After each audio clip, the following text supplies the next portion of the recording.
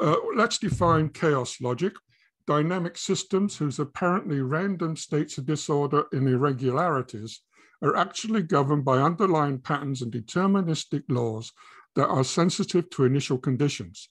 To reach logic and structure in the futures market, we need to recognize self-similarity, fractals, and self-organization. Small differences in initial conditions can yield diverging outcomes for dynamic chaotic behavior, as for example in many natural systems, including heartbeat irregularities, weather, and climate systems. The intraday futures markets have artificial components that need a multidimensional approach to understand the fractals within each day. Where do fractals start and end? Where are key reversals likely?